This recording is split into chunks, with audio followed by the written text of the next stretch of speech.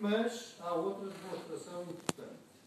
E eu estou a dizer isto para incentivar os estudos da China, que é o serviço que fazemos aos saberes, naturalmente, como fez o autor do livro, eh, mas também à própria, à própria escola.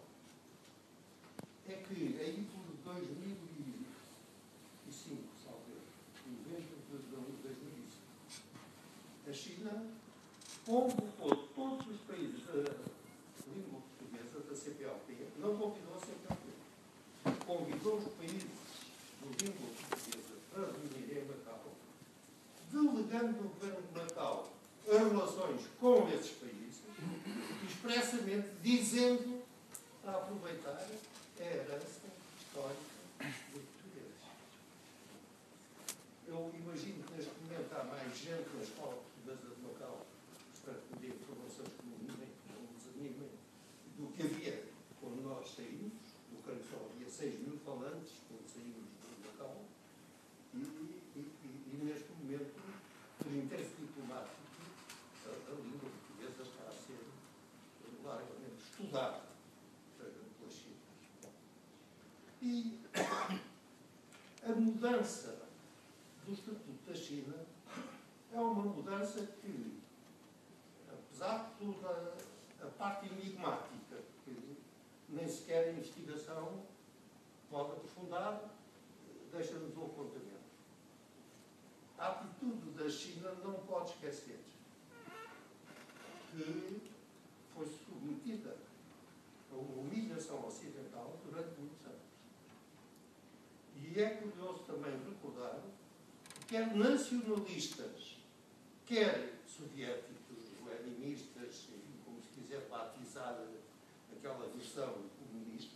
eram convergentes na ideia de que os tratados que chamavam desiguais tinham que acabar. Porque isso ofendia a China. E, portanto, esse valor patriótico era um valor com muitas boas tendências que lutavam pelo poder e que finalmente foi ganha pelo Partido Comunista Chinês. Nesta data em que nós estamos, hum, das coisas que eu tenho lido sobre a China, já leio um pouco neste momento, tenho outras coisas que estão a ler sobre a China, já tenho de maneira que eu gostei muito do livro, porque me atualizou muita coisa. Segundo lugar, está a demonstrar uma, um domínio da língua que é fundamental nesta, nesta matéria, extremamente bem escrito, extremamente bem escrito, com um apoio bibliográfico também é extraordinário, e sobretudo com a capacidade de ir ao encontro do que é enigmático nesta relação com a China, que eu julgo que é a maior contribuição. É mais importante neste momento a gente conseguir enumerar o que é que é enigmático na relação com a China do que aquilo que é sabido em relação.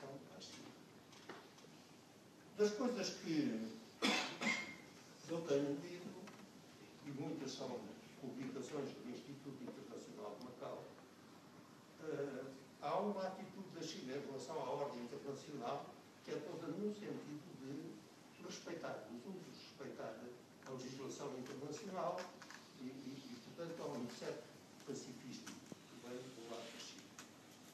Mas o Ministério do Poder, que é outro Ministério, tem um pouco a ver com as diferenças culturais da minha visão.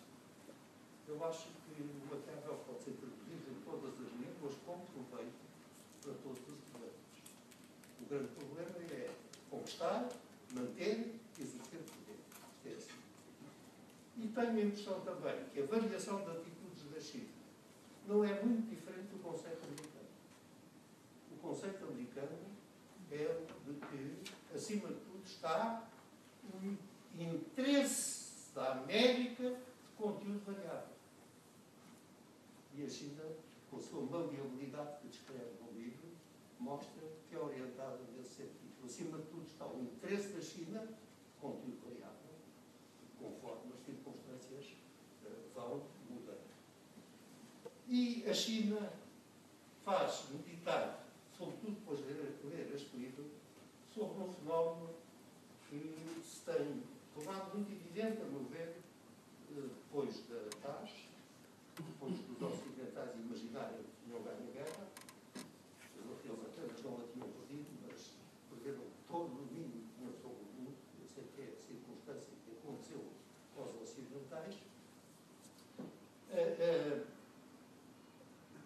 noção que nós tínhamos, antes da guerra, de que a qualificação e a hierarquia das potências vinha da sua capacidade, mas essa capacidade conjugava o poder militar com o poder científico e económico, e isso é que dava o poder supremo, neste momento esses poderes estão a ser divididos. É muito difícil hoje falar dos novos. Há vários. Do ponto de vista militar, pode ser que até agora a Seja está em primeiro lugar. Do ponto de vista financeiro, tenho dúvidas que ainda esteja em primeiro lugar. Quando a economia mais rica do mundo, que é a Califórnia, suspende pagamentos, já deve começar a pensar que a, a, a, a ligação entre as duas capacidades está afastada. E há uns sinais que confirmam muito das sugestões que vêm muito. É que, ao mesmo tempo que os Estados Unidos praticam atos que afetam a solidariedade da NATO, como foi a guerra do Paquistão, e que, por reflexo, vão afetar a unidade do Conselho Europeu, como aconteceu, efetivamente. Os Estados Unidos dão mostras, começaram a descobrir ou a lembrar-se que o mar deles é o Pacífico. Porque os Estados Unidos fizeram-se em relação ao Oeste. Com a declaração de direitos na mão, uma pistola na outra, e com uma grande imparcialidade, iam matando bisontes e índios. Lutaram o território até àquela costa. E o Presidente dos Estados Unidos, as visitas que já fez mais importantes, foram para o lado do Pacífico. Isto já apareceu. Em compensação, a China, que teve naturalmente uma revolução, que é sempre, paga sempre um preço a revolução, em bens destruídos, pessoas, etc. E gastos de unidades internas. A China está a aproximar as duas capacidades, a capacidade financeira e a capacidade militar. Foi por isso que talvez não tenham prestado suficiente atenção os comentaristas, não são obrigados a isso. Eu atrevi-me a fazer uma sugestão ao Sr. Presidente arranje-me um doutoramento para comentarista. Foi uma coisa mais fácil. Então agora quer dizer, arranjar uma coisa dessas. Bom, mas a China colocou no mar o seu primeiro porta-aviões. E é preciso lembrar-se que o país que põe um porta-aviões no mar tem escolta para proteger os porta-aviões. Tem aviões para proteger os aviões do seu porta-aviões. Na linguagem que a Marinha costuma usar, a China definitivamente mostrou a bandeira. E, portanto, este aspecto também exige atenção na minha introdução e obriga a ver a evolução da China, não apenas com potência financeira, que é, mas também que não descuida a busca das duas capacidades. E, portanto, os Estados Unidos têm que se preparar, penso que e nós todos no Ocidente, para que vai haver vários pacíficos. E a China sabe qual é o dela. É uma das coisas importantes que tem a China. Sabe qual é o dela. Naturalmente,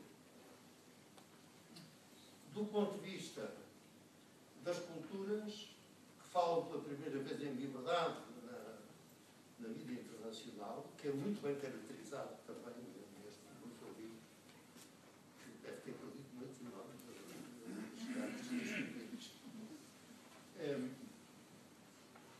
ela tem uma especificidade cultural que não se confunde com nenhuma área cultural. Também. O que dá força à sua presença no mundo internacional. E isso começa a ser reconhecido.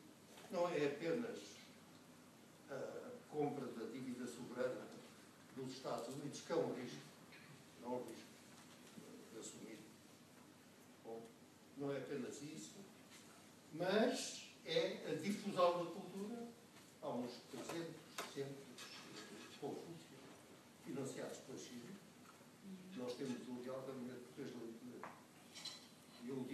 eu lá estive, a celebrar 200 anos de independência do Brasil, quem presidiu foi o Presidente Lula, não foi o Presidente de Portugal. Preciso começar a tomar atenção nisto. E eu penso que a China contém o Confúcio. Há termos chinês para presidir a do Instituto do Confúcio.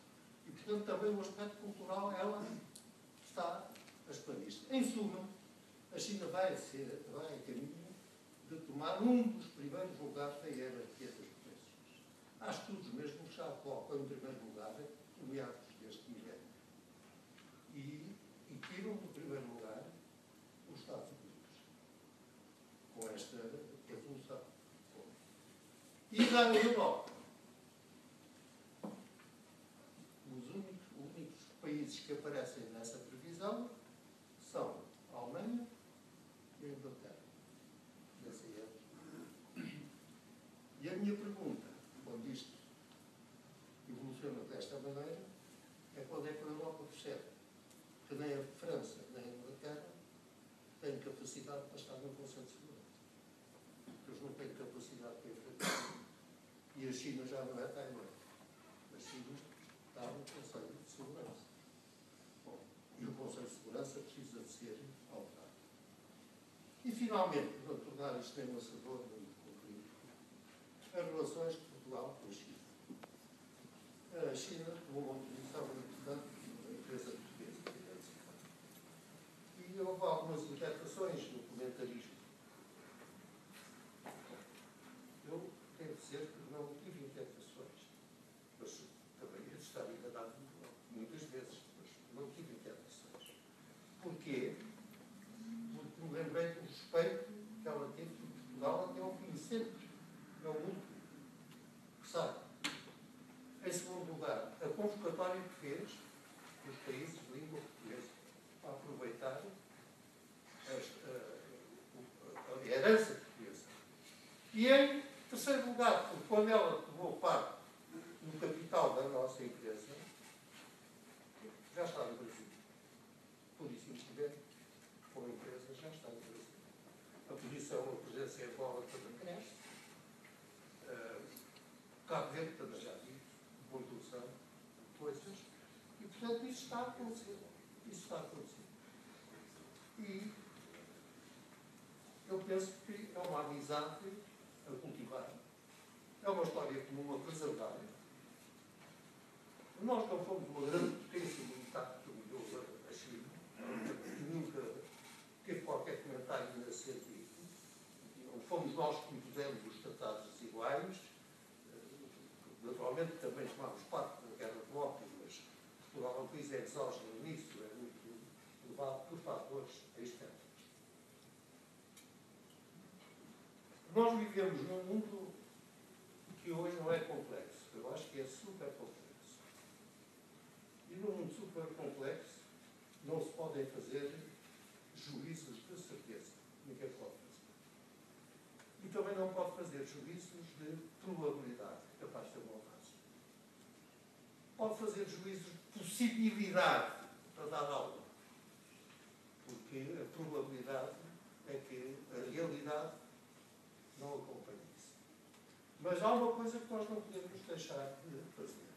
É cultivar a independência da investigação científica, é adiantar as conclusões, correndo o risco do erro, é saber, como ensinou a Popóca, que de repente aparece um cisne negro e a gente não pode dizer que todos os cisnes são e este livro é animado por esse espírito. O sentido crítico, o risco de sobre a possibilidade, apenas sobre a